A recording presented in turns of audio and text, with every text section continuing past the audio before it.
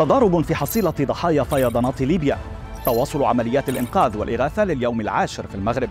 قاديروف في فيديو جديد بعد أنباء عن تدهور صحته.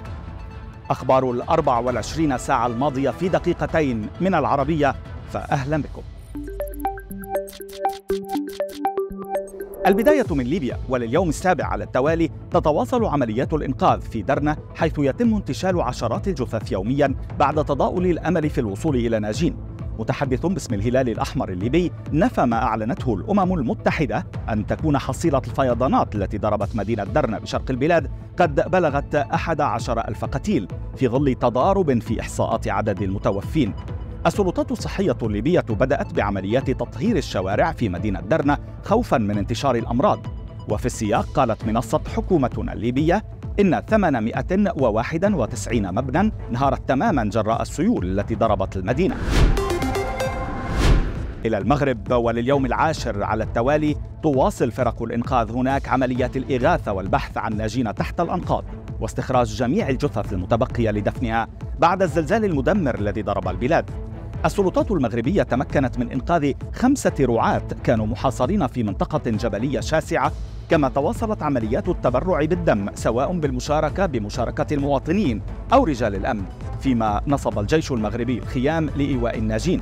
ووفقا لأحدث البيانات فقد أسفر الزلزال عن 2946 وفاة وعن 6125 إصابة إضافة إلى دمار مادي كبير طال نحو 50 ألف مسكن بشكل كلي أو جزئي.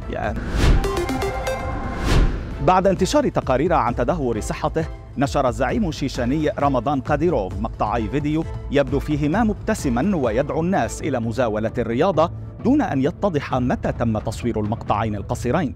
وتسري تكهنات منذ أشهر بشأن صحة الزعيم الشيشاني الحليف الوثيق للرئيس الروسي فلاديمير بوتين.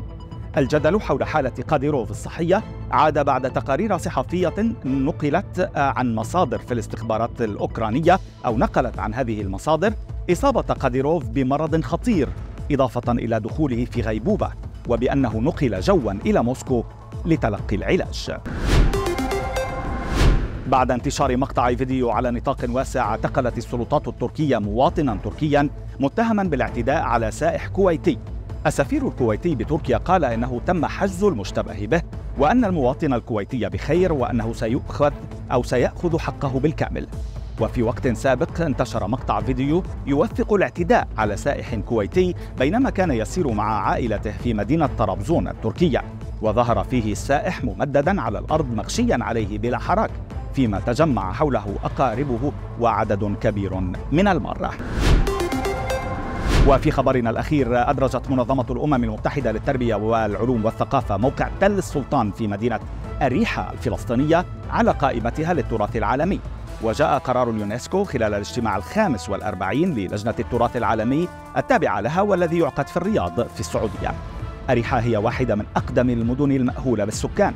وتقع شرق الضفة الغربية وتعتبر نقطة جذب رئيسة للسياحة وذلك بسبب مواقعها التاريخية وقربها من البحر الميت.